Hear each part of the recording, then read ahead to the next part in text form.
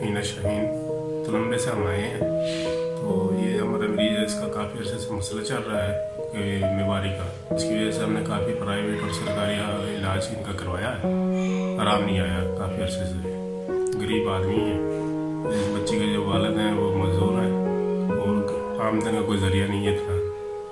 तीन सौ रुपये बचते हैं, दीवान किराने की दुकान है, उसमें तीन सौ, ढाई सौ, तीन सौ रुपये बचते हैं। उसे इनका घर का सिस्टम चल रहा। तो कुछ लोगों ने हमें बताया, ये आबद अस्पताल जाएँ और उधर आपका इलाज होगा। अगर आबद अस्पताल आए, इन्होंने बताया कि हमारा टी एच इदारा है तो उसके ज़रिए आपका ऑपरेशन हो जाएगा। इधर आए, अल्लाह का शुक्र है अब मुसना तो टी एच के ज़रिए हमारा इलाज हुआ है। ऑपरेशन हो गया है, मरीज़ हमारा ठीक है, अच्छी देखभाल हो गई इधर। अल्लाह ताला इनको दे के भी हमारा इलाज फ्री करवाया है। हम इनके बहुत शुक्रगुजार